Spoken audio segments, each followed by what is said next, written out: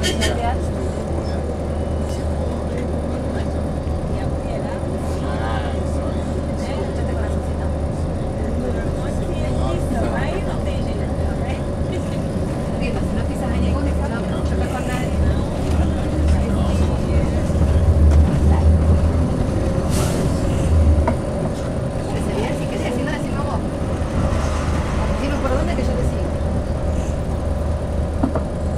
Bom, gente, coisa linda de passar eh, quando estamos assim no feriado, né, gente, por todas partes.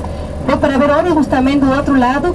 Dentro de tudo, nós estamos saindo quando a pessoa está chegando, então até poderia ser pior. Então estamos saindo com sorte, né?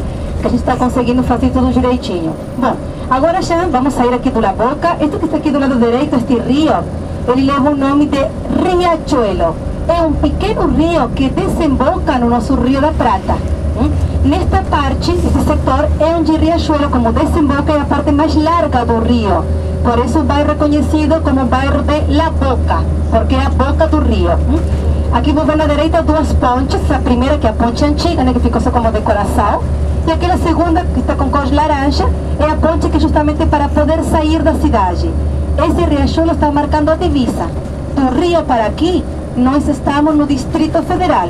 Do rio para lá, ingressamos no estado de Buenos Aires. Estamos justo na fronteira entre capital e estado. A diferença é que nós temos, eu acho que no Brasil não é igual, não sei. É, aqui nós temos o nosso país, né, Argentina, que está dividido em 24 províncias, a gente chama, né, províncias, estados. Cada, cada província com uma cidade capital, né, normal. Um dos 24 estados, uma das 24 províncias, é a província de Buenos Aires, que tem como capital uma cidade que se chama La Plata.